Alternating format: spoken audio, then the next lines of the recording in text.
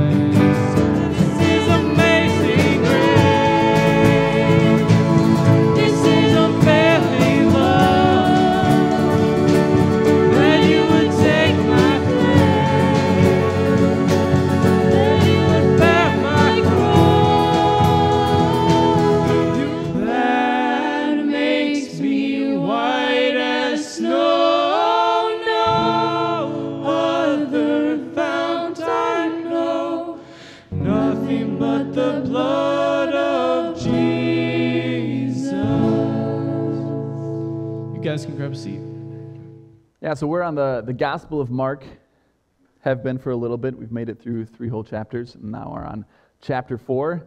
And so I'll, I'll read this to you guys. And then uh, let's, well, I might even break it up right away. But, start.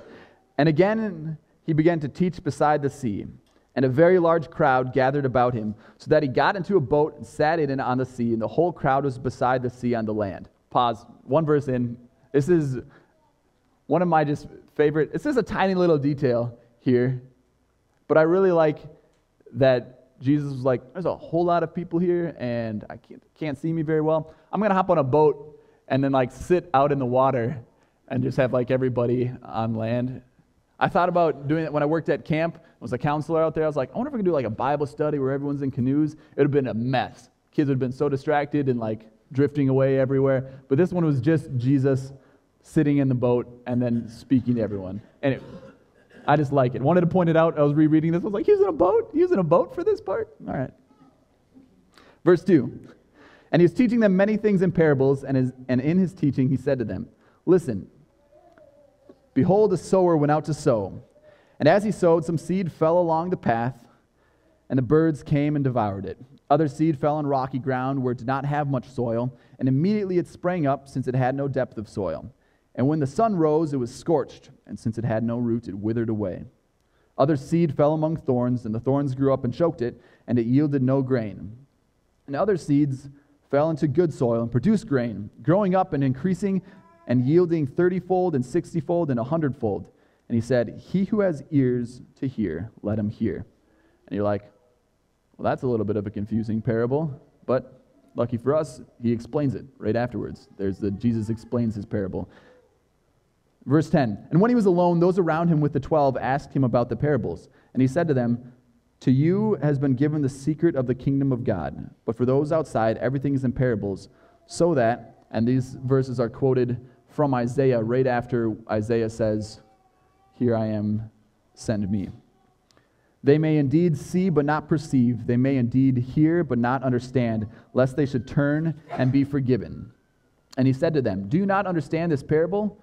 How then will you understand all the parables? The sower sows the word, and these are the ones along the path where the word is sown. When they hear, Satan immediately comes and takes away the word that is sown in them.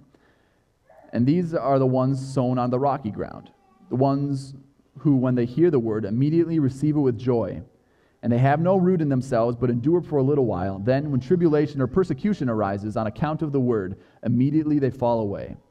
And others are the ones sown among thorns. They are those who hear the word, but the cares of the world and the deceitfulness of riches and the desires of other things enter in and choke the word, and it proves unfruitful. But those that were sown on the good soil are the ones who hear the word and accept it and bear fruit thirtyfold, sixtyfold, and a hundredfold. Let me pray.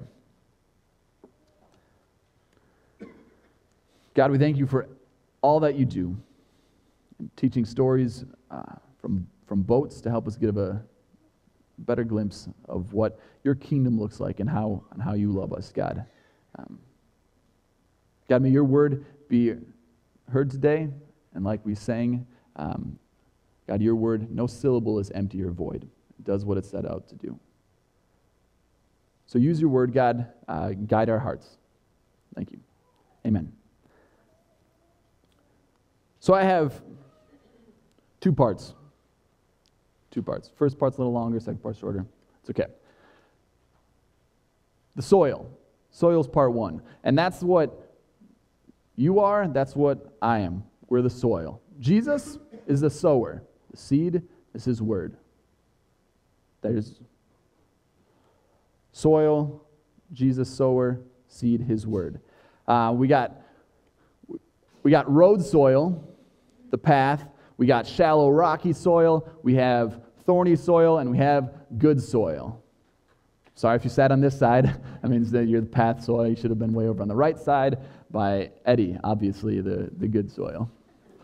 Um, no, no, no. Uh, let, me be, let me be clear about the good soil. The hearing and receiving of the word and then producing fruit is what makes good soil good. By grace and grace alone. There's not something that, that the good soil does to be good soil. Reading through this, this parable, uh, three of the soils receive the word. Not just the good soil. Only the path soil is so hardened that, that right now it, it, won't, it won't hear the word. How I think of the path soil is if you've ever been in a disagreement or an argument with somebody, I certainly have. Um, I like being right.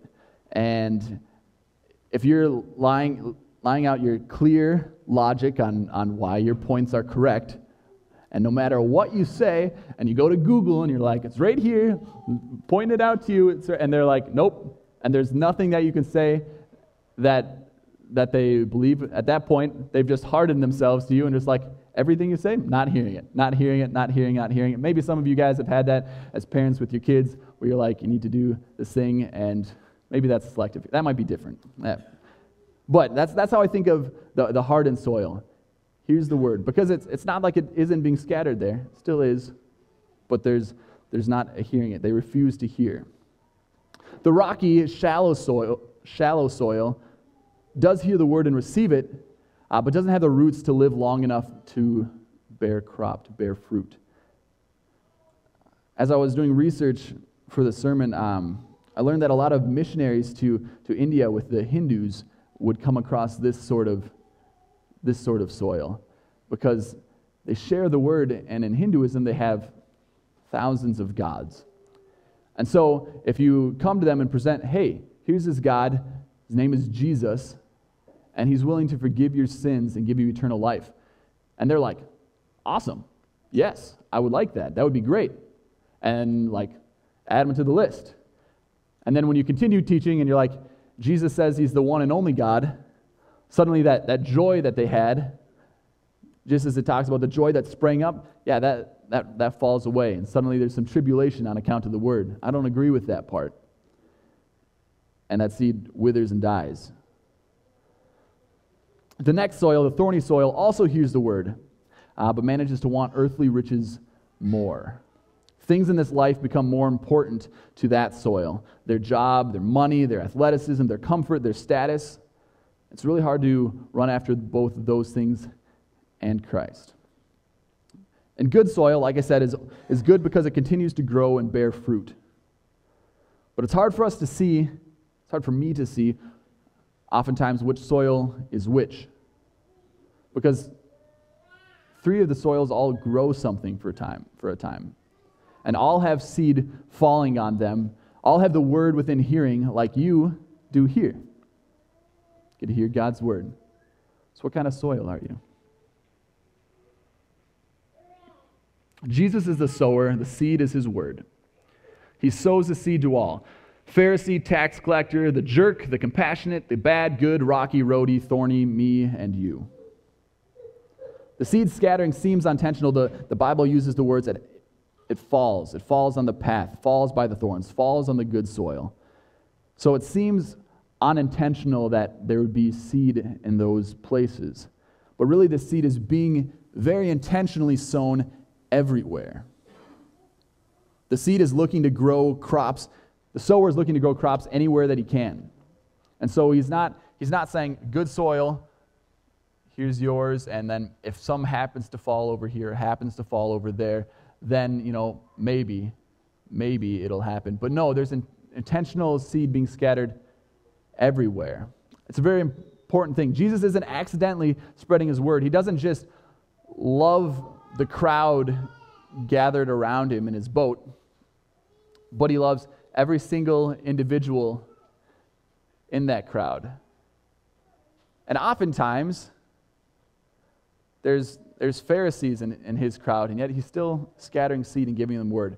The same goes for us, though. He cares about each of us as individuals. He doesn't just love the people who show up here regularly or the ones who dress nicely or know his word really well. He doesn't just love the people who love him, but he came to die on a cross for everyone and all sins. He loves everyone and doesn't discriminate against anyone while sharing the word or his, or his sacrifice.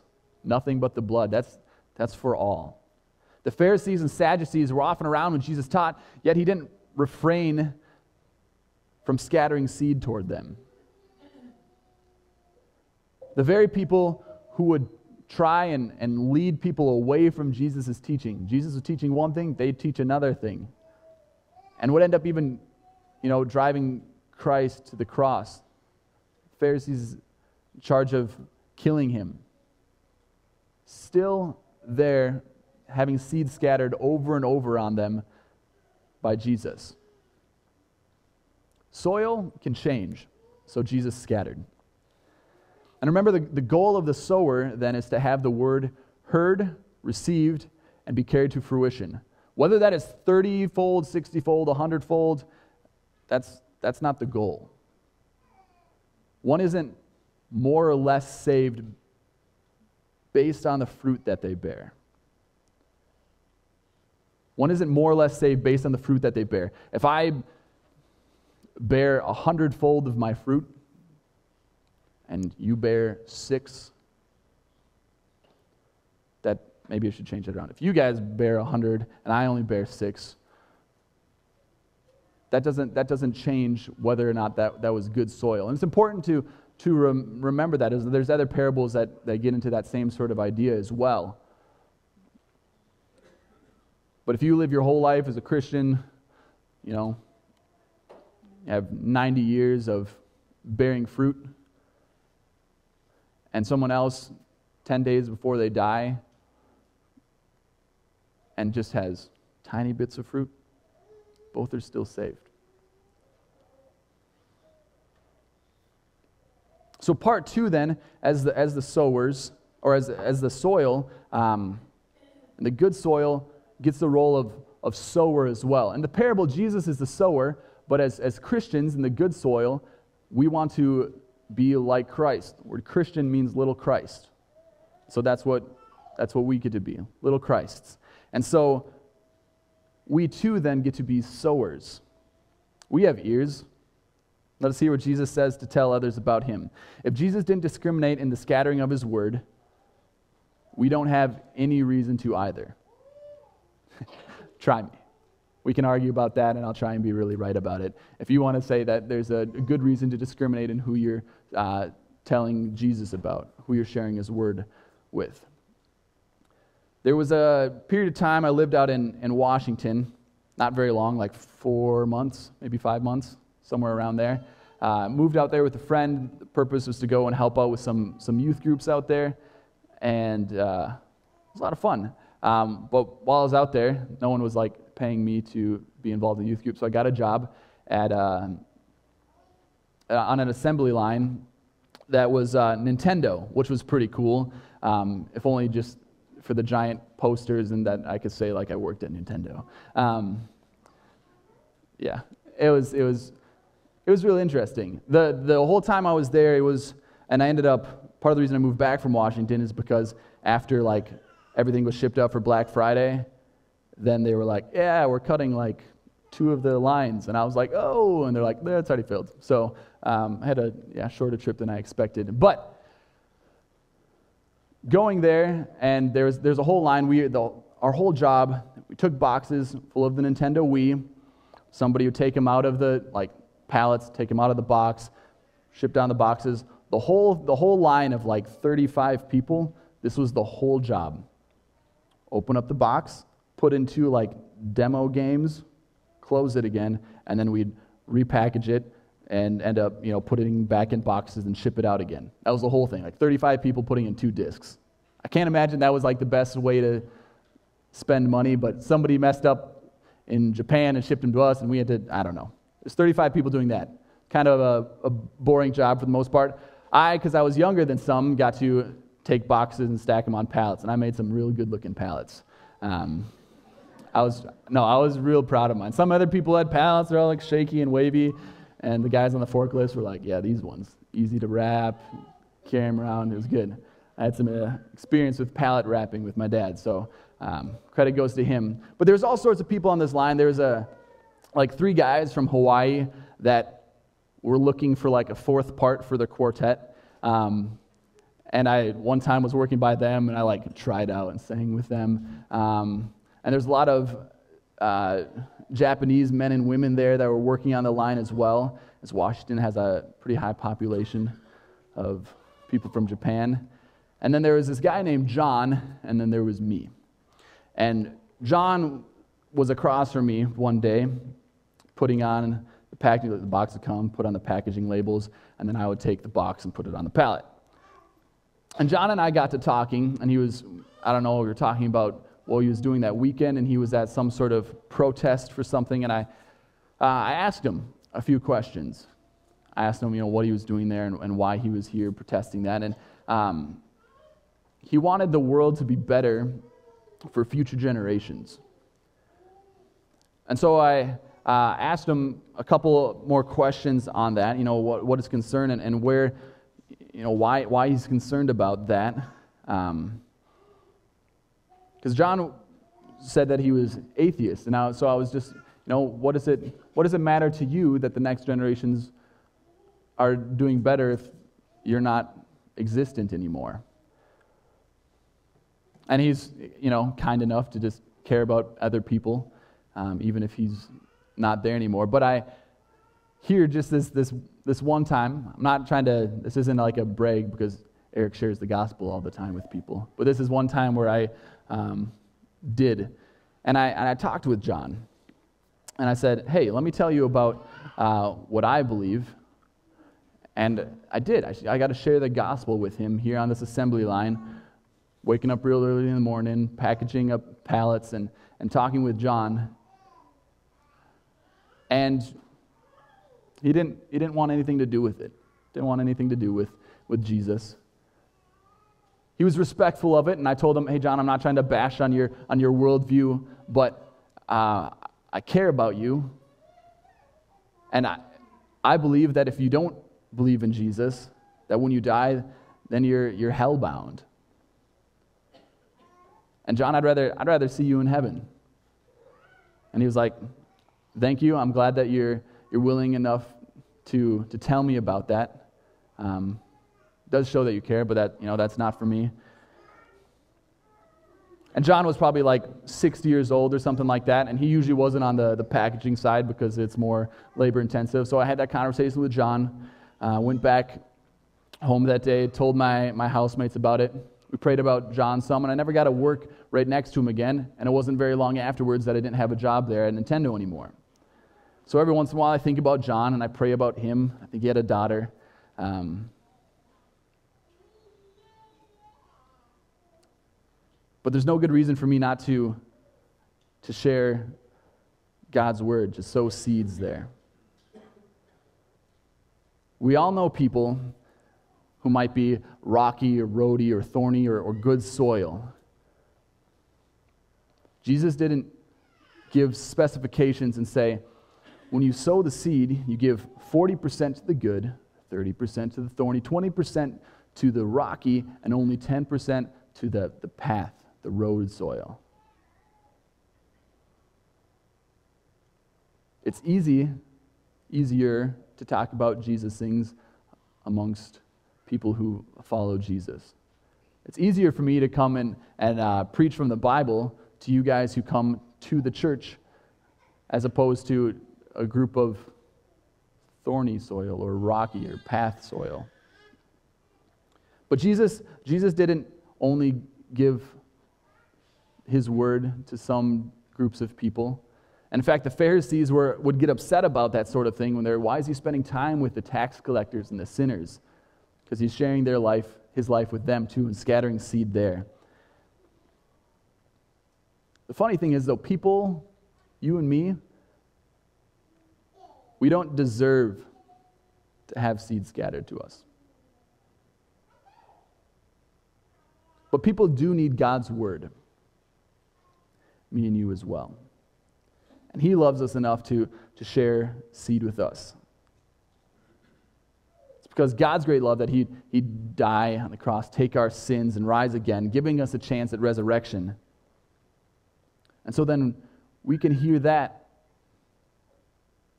And then I'll, I'll still pose the same scenario. Then, you know, what right do we have to try and not scatter seed to some. Paths, they can be tilled up. Thorns can be removed. Soil changes. So let's share God's word everywhere. Scatter seed, take chances at conversations, pray for people. Take that extra little bit of time for someone.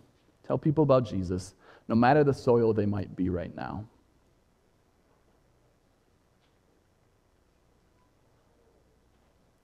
Let me pray, and uh, band come back up again. God, we thank you for sharing your word. Not to some, but, but to all. We see in, you, in the Gospels over and over again, God, where you went. You didn't spend all your time in the temple, but you were at the temple. You didn't spend all your time just with tax collectors and sinners, but you were there. You spend most of your time, God, in Israel, but you, you still found time for a Samaritan woman as well. God, you gave us an example in the sowing of your seed. Out of your great love to us, sharing it with all of us, God. We thank you for that. God, help us to be little Christs. Uh, draw us to yourself. God, if I'm the wrong soil, break me up. Make me the good soil, God. Help me to produce fruit for you, your kingdom. In Jesus' name, amen. Um, you guys sing with us? Um, stand up and sing. Uh, this next song is called Rejoice, and it was introduced last week. And um, it just talks about how, um, it just talks about like praising God and through like all the times of through struggle and through good times and just how God is there for us even though we are going through bad times. He's there and he calls us to praise him. And yeah. He has walked this path before us. He is walking tragedy to triumph, turning agony to praise. There is blessing in the battle, so take heart and stand amazed. Rejoice when you cry to Him, He hears your voice. As go from here, be thinking a little bit about the people who are the different soil that you know. Maybe uh, be convicted a little bit about a lack of scattering seed. There's still forgiveness for that. And then maybe if, if you're hearing this and maybe understanding a little bit more and you, you want to know how to not be a, a thorny soil or rocky, shallow soil, you're looking to grow and, and bear fruit, keep coming back. It's a good place to be with other, with other believers building you up. Come and talk with me. Come and talk with these guys. find an elder. It's people in the church who'd be uh, willing to help build you up. But hear this, hear this blessing from Ephesians that I picked out because of its little bit of plant language in here. Ephesians 3 17 through 19. May Christ dwell in your hearts through faith, that you, being rooted and grounded in love, may have strength to comprehend with all the saints what is the breadth and length and height and depth, and to know the love of Christ that surpasses knowledge, that you may be filled with all the fullness of God.